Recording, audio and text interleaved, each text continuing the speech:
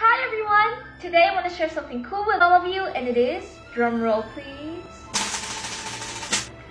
Genshin Impact's annual concert! And if you guys don't know what Genshin Impact is, are you living under a rock?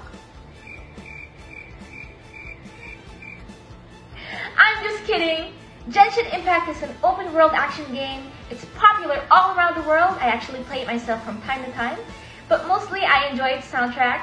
That's why I'm really glad that I found this concert on YouTube. And the concert is really diverse. It goes from classical music to rock music. That's why I love it so much. And you know what? Let's listen to it right now.